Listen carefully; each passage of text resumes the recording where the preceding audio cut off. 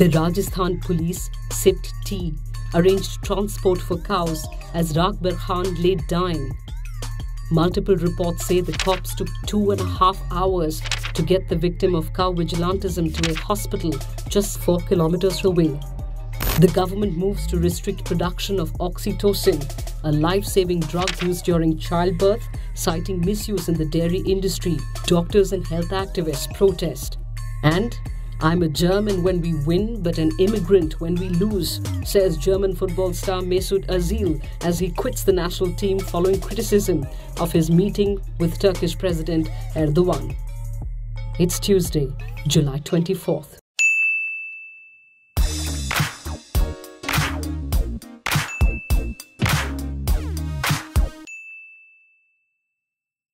When the Rajasthan police reached the spot in Lalavandi village in Alwar, where 31 year old Rakbar Khan was attacked by cow vigilantes, Khan was still alive.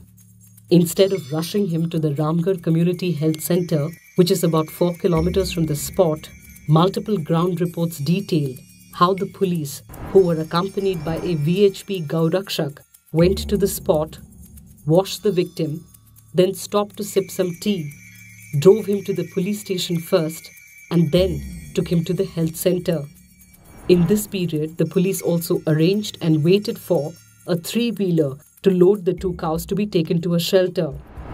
It took them two and a half hours since finding an injured Khan to arrive at the health center. Khan was declared dead on arrival.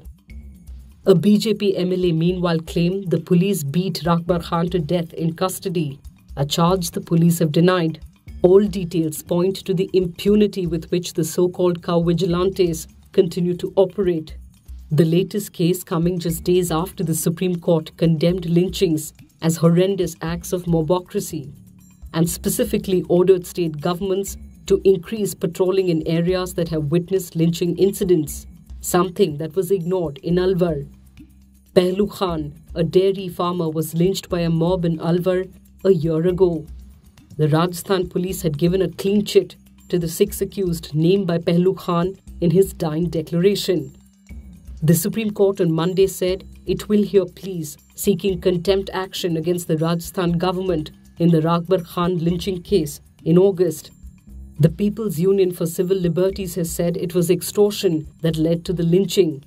The statement, urging the Vasundhara Raje government to act, says it is well known that extortionists under the garb of Gaurakshaks are roaming the streets looking for a prey.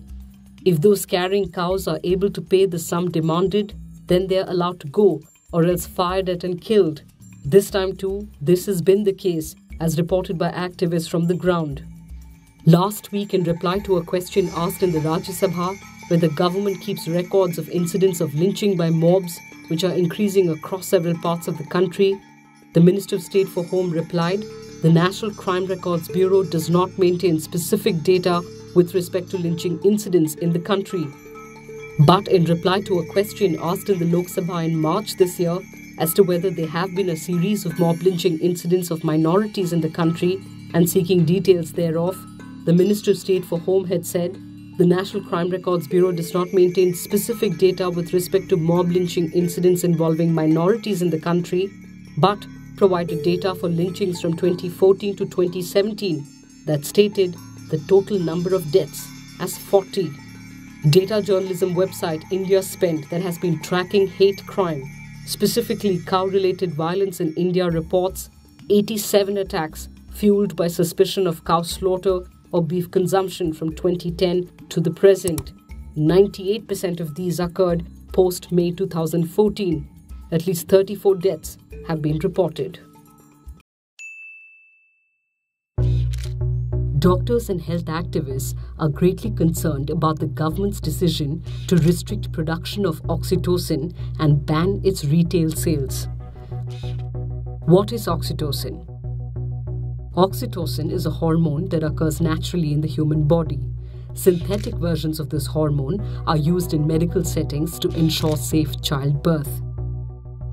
This life saving drug has been listed as an essential medicine by the World Health Organization and is also on India's national list of essential medicines. and so such restrictions could be detrimental to the health of women during labor and childbirth as the drug is used to control postpartum hemorrhage, a leading cause of maternal mortality in India. India's maternal mortality rate has been coming down steadily and in 2016 stood at 130 per 100,000 live births, down from 254 per 100,000 live births in the 2004 2006 period. In its Trends in Mortality 1990 2013 report, the World Health Organization states that India accounted for 17% of all global maternal deaths. As this statement by Common Health, a coalition of health activists working on maternal health and abortion, underscores,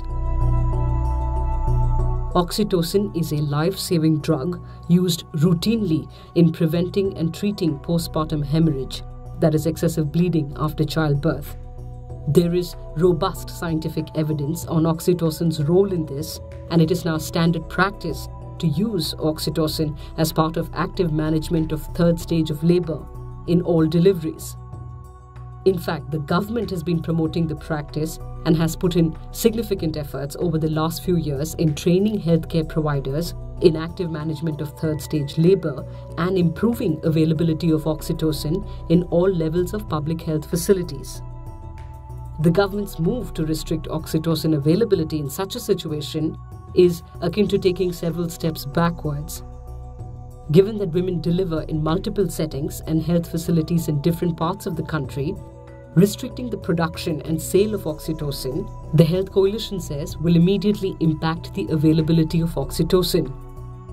The order restricts the production of oxytocin to a single public sector manufacturer, and its ability to meet the demand from across the country is in serious doubt. Now, the ban on retail sales of oxytocin will immediately affect the availability of the drug in private sector facilities and also in public sector facilities in states where drug procurement mechanisms are weak. The Coalition of Health Practitioners and Researchers admit there is evidence for irrational use of oxytocin to augment labor in women. Also, there is evidence of oxytocin misuse in animals to increase milk production. We acknowledge a need for the regulation of the use of oxytocin, however, such a blanket ban will have immediate negative repercussions. The question being asked is should women pay the price for the government's regulatory failure? German football star and Arsenal midfielder Mesut Ozil has announced he is quitting the national team, citing disrespect and racism Ozil, who is of Turkish descent, had met Turkish President Recep Tayyip Erdogan in May in London. He was accompanied by his Germany teammate, Manchester City's Gundogan, who is also of Turkish descent. President Erdogan has been accused of stifling dissent in Turkey. Ozil, in his statement, said, For me, having a picture with President Erdogan wasn't about politics or elections. It was about me respecting the highest office of my family's country. Taking on the president of the DFB, the German Football Federation, who had been critical of Ozil, the midfielder said, People with racially discriminative backgrounds should not be allowed to work in the largest football federation in the world that has players from dual heritage families.